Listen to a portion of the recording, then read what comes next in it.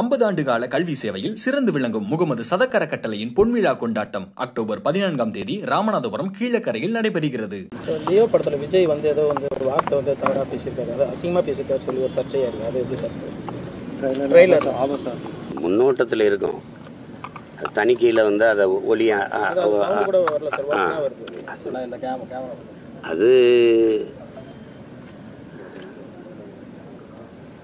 சாதாரணமாக மக்கள் மொழியில் இயல்பாக எடுக்கணும் போது மக்கள் மொழியில் வருது. இப்போ என் தம்பி வெற்றிமாறன் எடுத்த பாடசனையெல்லாம் பார்த்தீங்கன்னா எங்கள் மொழி அது. நாங்கள் வந்து வாருங்கள் அமருங்கள் உட்காருங்கள் அப்படிலாம் நம்ம பேசிக்க முடியாது. அதுவும் ம- எத- படம் எடுக்கணும் போது நீங்கள் இது பார்த்தீங்கன்னா வெப் சீரிஸில் கேவலமான வார்த்தைகள்லாம் ரொம்ப கொச்ச கொச்சா பேசுறதுலாம் இருக்கு.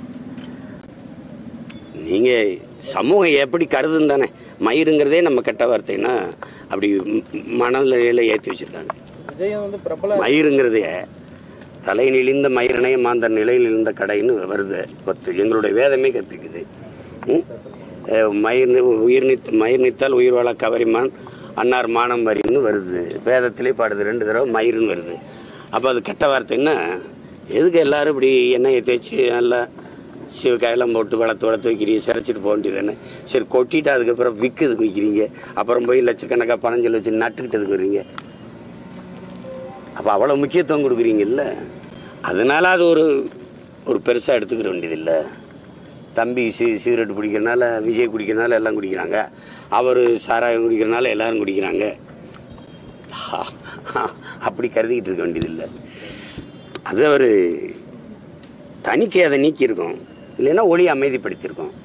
அது முன்னோட்டத்தில் வந்திருக்குது. அதை போய் அவரை குற்றப்படுத்திட்டு இருக்க வேண்டியதில்லை. வீரலட்சுமி வந்து தொடர்ந்து உங்களுக்கு எதிராக வந்து செய்தியாளர் சந்திப்பு நடத்திட்டே வராங்க. அதை நீங்கள் எப்படி அவங்களுக்கு அது வேலை. எனக்கு நிறைய வேலை.